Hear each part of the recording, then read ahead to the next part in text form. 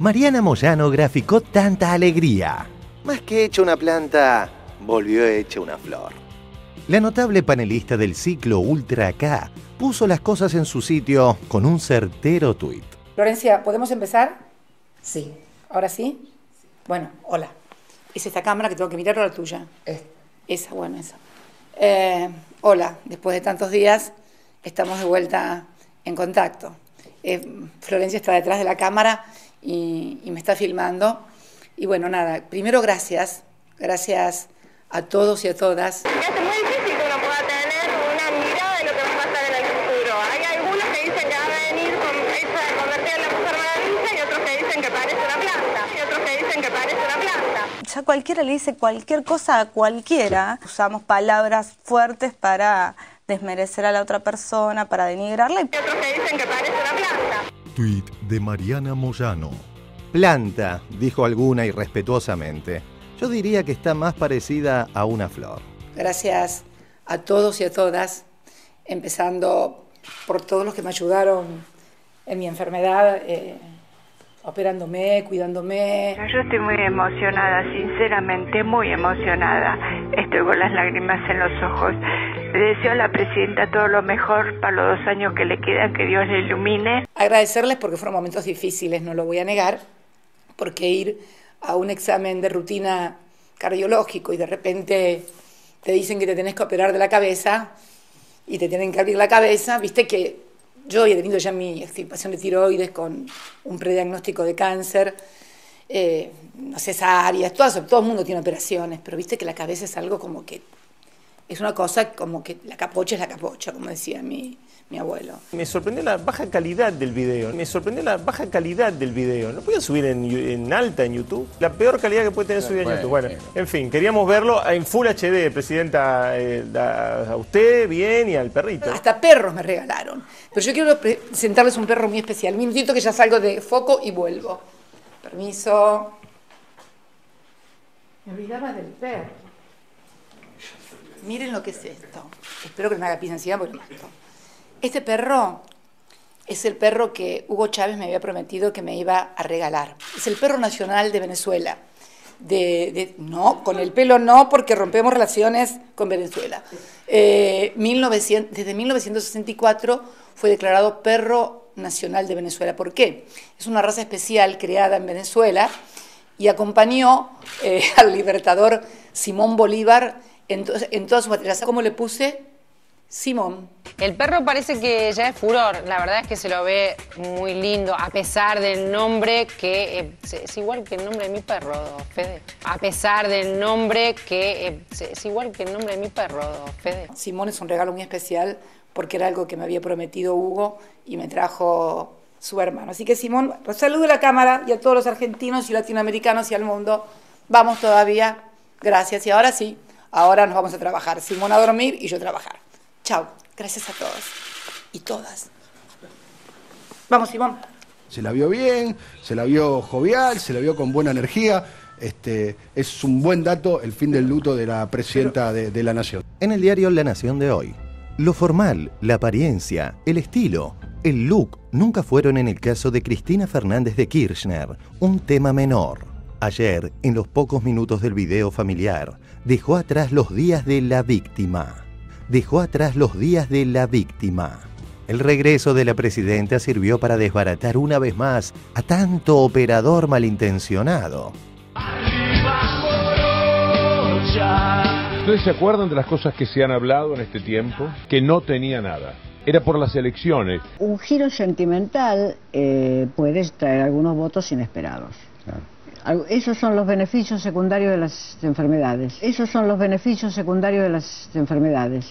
Era una manera de especular con el sentimiento de la gente, que probablemente no fuera nada, que podía ser un engaño. ¿Cómo lo hacían? Diciendo, hay mucha gente que dice... Yo recién entraba al estudio y uno de los técnicos me decía, che, ¿no nos estarán acostando con la mina esta? Che, ¿no nos estarán acostando con la mina esta? Hay otra gente que dice, ¿y esto será cierto o no será cierto? Hay en la calle eh, eh, la sensación de que la gente no cree un poco esto que está pasando. La gente dice, no, no está enferma nada, es un invento. Es tanto lo que este gobierno mintió que una parte de la población duda de la veracidad de lo que se viene diciendo. Cuando sucedió eh, viene el asunto de la internación de la presidenta, la mayor parte de la gente preguntaba, ¿pero usted cree que es verdad? Curioso esto. Mentira. Era cada uno de los periodistas que quería decirlo para dejar flotando esa posibilidad, para jugar con esa mezquindad. Después no se sabía lo que tenía. No había partes que fueran lo suficientemente elocuentes. No sabemos casi nada oficialmente.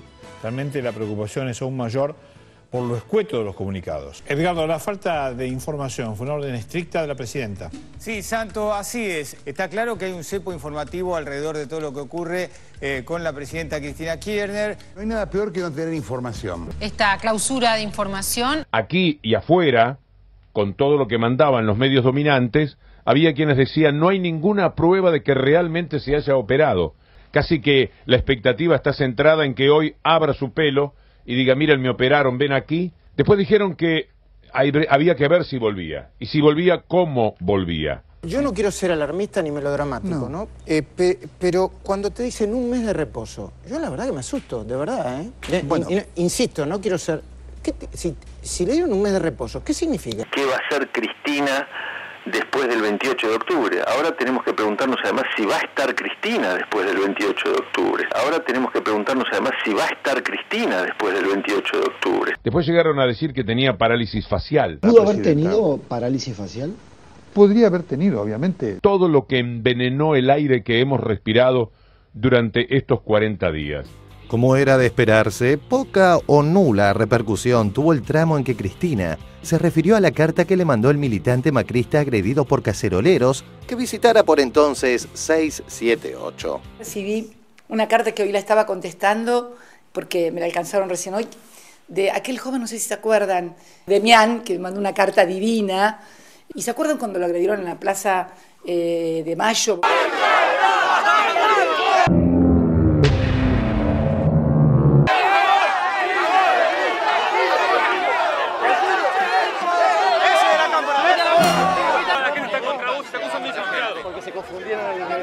Yo soy militante del PRO encima. ¿A dónde corre? Corre, corre, corre, sigue corriendo, sigue corriendo, sigue corriendo. Derecho, derecho, derecho, derecho, derecho. Colgate, vení, vení, vení. Déjalo entrar. Por detrás, por favor. Sí, por favor. No, no, no, salir fuera.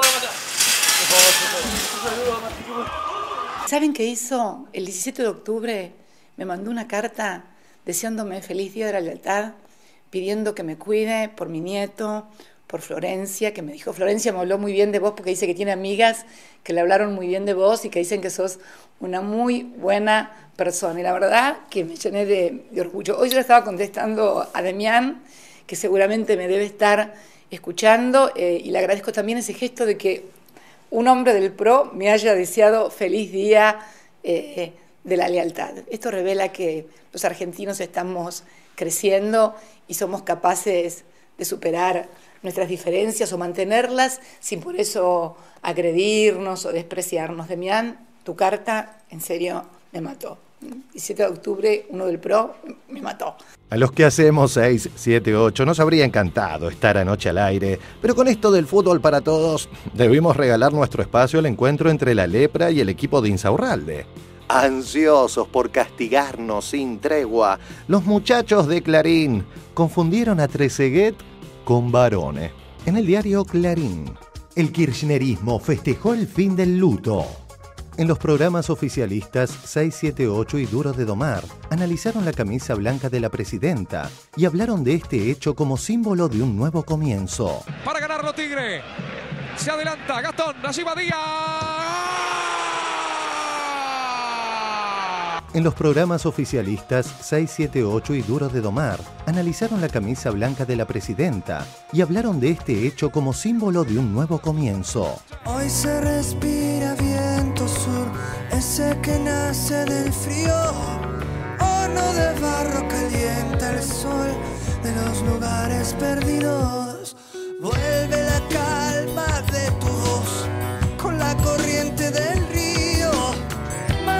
cielo sobre el